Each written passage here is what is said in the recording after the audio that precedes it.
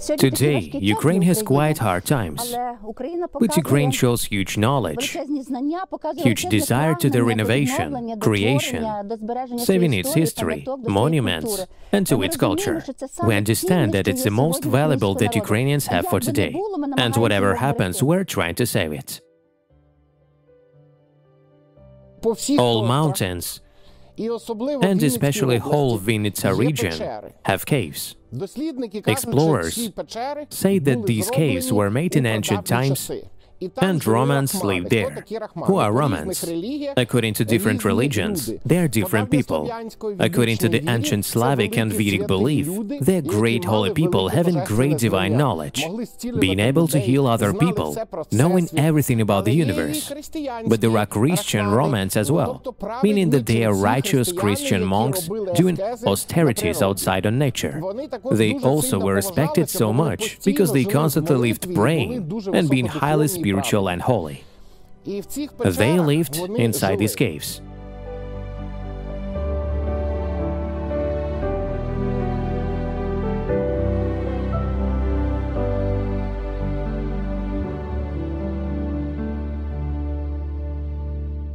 Just a few years ago, this area called Oksaniv's Rocks. Oksaniv's caves obtained the status of Monument of Cultural Heritage of local meaning, defensive rock monastery. In the 11th, 17th century, legendary Rahmans were living here being simultaneously both lonely monks and warriors defending Ukrainian land their territory against raids starting from Turkish invasions and Poles. Since present days, there, in our complex of defensive rock monastery, a lovely monument has been remained. It's a cave church. This cave church is an evidence that people strongly believed in and loved their native land. Nowadays, we're trying to keep that stuff which existed here in the 11th, 17th century. Perhaps it's not so simple, but the past to this place is made by public activists. The path is made with the help of various projects, grants, and today there is endless stream of people here. They're coming here to this church to feel the power, to feel the faith, to meditate, to admire Dniester's landscapes, to feel themselves as a part of great Ukrainian people, a part of the universe, to get to know much better about Rahmans, about their knowledge, about the history of world creation. And of course, to feel the rush of power, of inspiration, of desire to create, and the rush to life.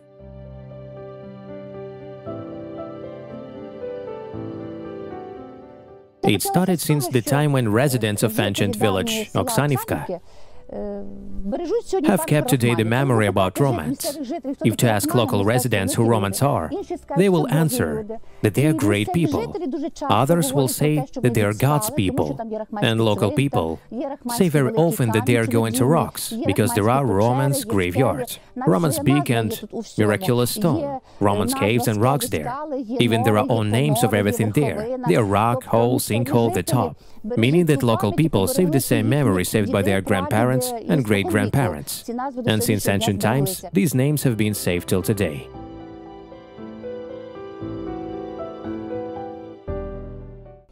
When I was a schoolgirl, I went with my mom on Easter to Yampil, the church, to sanctify the Easter cake. We were walking there, because there is no need to use the car for getting to the church. There were a lot of people there, sanctifying everything they had. After sanctifying, people were walking back from Yampil. We were coming back home, eating Easter eggs, Easter cakes, meats, whatever everybody had. After having breakfast, my mom gathered that red shell of eggs, then gave it to me to bring it to the Dniester. She said to me, Bring it to the Dniester and throw it in the water. Let it flow to Rahmans, and when it reaches them, then the Rahmans Easter will be. I was a schoolgirl happily running with that shell of eggs to the Dniester, throwing it in the water. Let it flow to Rahmans.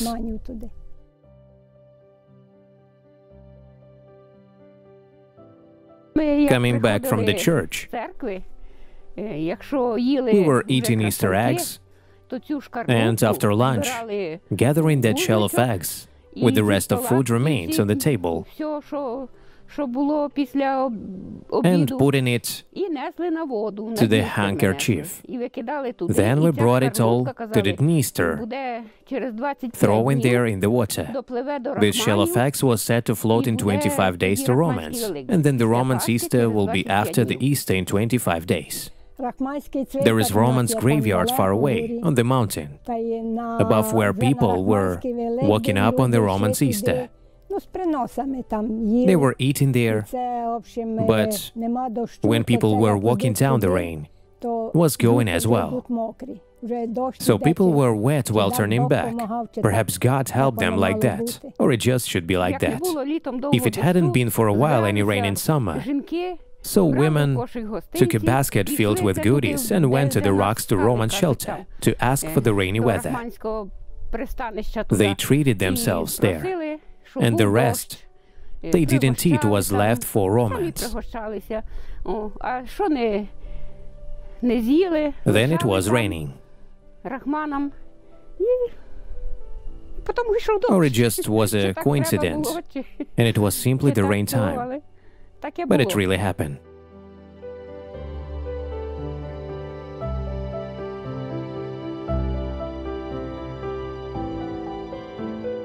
Everybody was coming to this cave church to pray. Earlier, below, there were two huge stones, big tombstones, and saved huge stone crosses that disappeared then with time, because our defensive rock complex consists of chalk interspersed with quartz and silicon, meaning that it is very fragile. Today, our church, as we can see, is changing, ruining, and needs to be preserved. But people are coming here followed by a legends and ancient historical memory. If to speak about legends, so we have a quite interesting legend about a great stone. If our Rahmans are simultaneously both lonely monks and warriors defending their land against Turkish raids, so the legend tells that once upon a time, a huge Turkish ship sailed here. On the ship, there were a lot of different goods, wealthy stuff taken from local residents during the long traveling. And it was here where this ship collapsed and everybody were called to run on the ship to help to keep the balance of the ship. One Turkish man was walking alongside the shore carrying that hat filled with gold that he gathered from Ukrainian farm steeds from women's houses, or maybe even he just stole it. So he was carrying this huge hat with gold and was suddenly called, Faster, faster, everybody come on ship, help! So he put the hat with gold on the ground and ran on the ship. When the ship was fixed, he turned back to his hat filled with gold, and above there on the rocks, there an old Rahman was sitting. And he saw the Turkish man was walking. The enemy was coming to steal our Ukrainian goods and thought, we won't give our gold to sail far away. And he tore off with his mighty hand the great stone rock and directed it straight below on that hat with gold. And that gold is still under that great stone. Local people say so. We were near the Great Stone. We were grazing the cattle near the Great Stone. We came to the Great Stone, meaning that it is like a great mock. Others say that when it is the day of the Rahman Easter, the gold is sparkling and it can be seen, but it can be got only by good, true and nice people, using this gold for good purpose, for development of Ukrainian state. We believe that perhaps one day such times will come. Once upon a time, a young boy was on our excursion, and he said, when I grow up, I will for sure get this gold out and give it in favor of Ukraine. A lot of people were coming here, and there is another version that this gold is not material. It's like a knowledge, a wealth, a faith, a power of Ukrainian people, and who understands it, who obtains it. Then this person will become strong and wealthy for the whole life. There were a huge amount of ideas of different directions. Well, first of all, probably, Dniester was always a border between the West and the East worlds. From another hand, it was exactly high banks, unreachable rocks, soft chalk that gave the possibility to build caves, rock monasteries, so perhaps it was caused by it. Or maybe even it was caused by a living here of ancient magicians, and such ancient knowledge was just saved from that time, that there were always some people here praying, defending, and exactly it was a part of a defending rock monastery of the 11th 16th, 17th century, and we were set with the same worlds by historians. It was them who confirmed the rocks which we have. When it was the last expedition in 2013, we found a wooden crossbar, confirmed in Krakow on radiological analysis to be in 1675, meaning that it is an evidence that these caves are quite ancient. It is not so easy to get to these caves. The first variant was to go down using various ropes, and the second variant was to use special clips for hands and legs to go up to the cave. When we were going down using climbing equipment from above to the cave, so we didn't reach it with our hands. We couldn't do that, neither hands nor legs. Maybe East borders always need to be protected, and they were protected by monks performing the role of warriors defending their native land as well.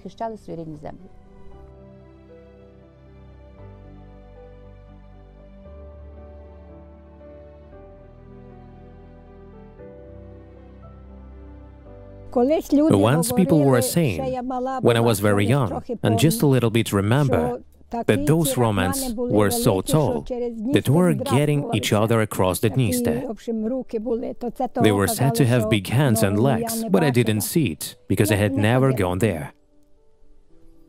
Maybe somebody was going there, was interested in it. Once there were plates there, but the tractor plowed everything, and now there is a forest.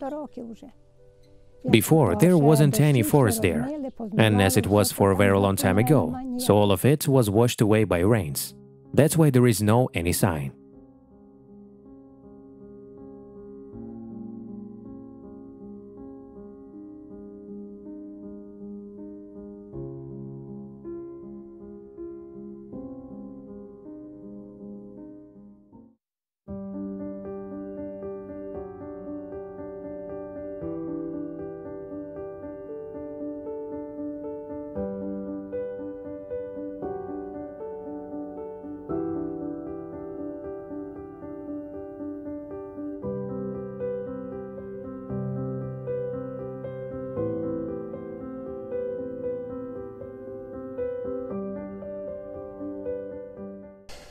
Stone mazes in our country. are typical for mountain area. A lot of such mazes are found in Carpathians, for example. They are found near Bukovel and in mountains. It was this maze that was reproduced, but it is still the same like it was a century ago stone mazes in mountains, connected with legends about Rahmans, who built all these cultural sculptures that we can see in mountains. They built caves, cave towns, some kind of sacred figures, mazes, stone stars, and a lot of others.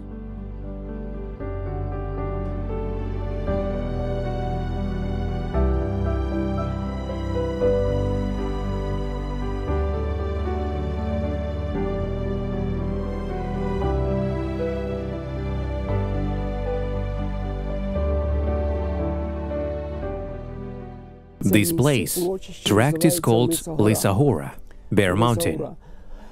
Why is Lysa? Well, because it was really bare in its time. Moreover, it has such name because it is situated above the hill, above the settlements Busha and Doroshivka, meaning that it is the highest point in this settlement. Here, during their archaeological excavations, there were found the leavings of ancient settlements. It is an age of late bronze, early Iron Age, and it is possible during the walk on the field after harvest to find artifacts relating to the age of first millennium to the Christian Christmas. Besides, there are signs that it was this hill where the sanctuary probably was. There are places showing it, meaning that there are hills where the houses were built. They were preserved only on the hill called Lysa Hora, because it wasn't processed at any time. There wasn't performed any agriculture here, meaning that here the soil wasn't processed. Because the reserve of black soil isn't so big here, and that's why it saved its fragments of archaeological monuments. The mountain is comfortable because there are good black soils near it, including the field, where the livings of settlements, material cultural livings of that age, can be found, and also there are well springs. Here, at the foot of Lysa Hora, there are two well springs, and perhaps people had the possibility to use them. And even now, when there is no water, so last houses of the village Doroshivka use these well springs, taking the water. The water is incredibly tasty. And there are some legends regarding the characteristics of this water meaning that it is amazingly interesting and beautiful place. It is overgrown now with forest, which was made artificially. In 70s of the last 20th century, the trees were being planted, and now such a big until all grows here. Truly speaking, this place regarding the researches of history, archaeology, and other sacred meanings is very interesting. It is on the edge of a great territory having 300 years old oaks. In Verkhovina tract, there is a great fragment of territory where 300 years old oaks grow. This territory for today has the status of State Nature Reserve.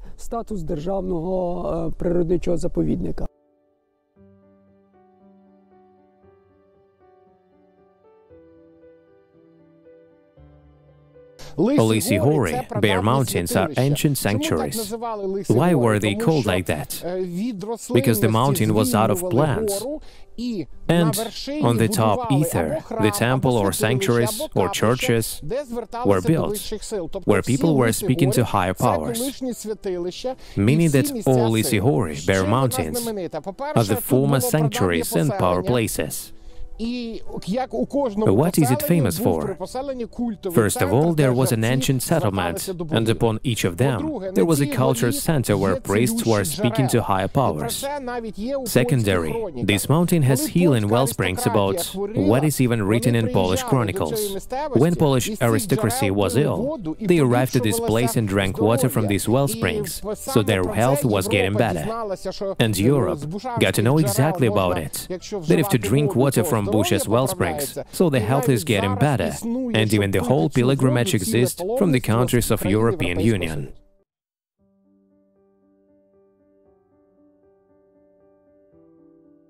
We are now in Busha, in the center of Stone Star. This stone star has nine rays. It is nine-ray star.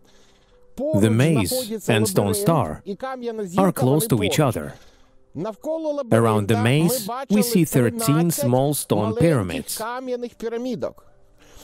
And it's made on purpose, because the number 13 in all ancient religions is the number of sky, because it includes the sun and 12 zodiacs. The number 13 in the universe is considered to have a manifestation of a male power.